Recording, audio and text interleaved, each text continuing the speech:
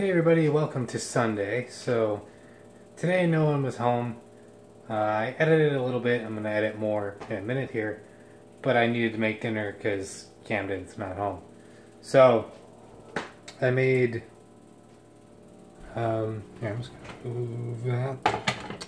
Uh, I'm, I made uh, just burritos, really. Um, just kind of cooked up some ground beef that we had in the fridge and threw cheese with it. It was not hard at all. It's good. Uh, I'd like to try with some spices or something at some point, but yeah.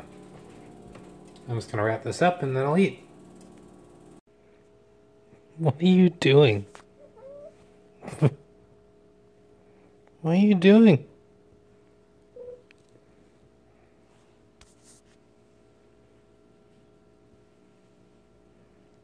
She was like trying to get behind my back. What did you see?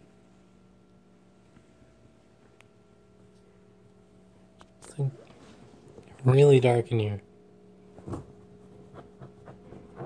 You you can go back there. They did sit up. Weird, weird cat.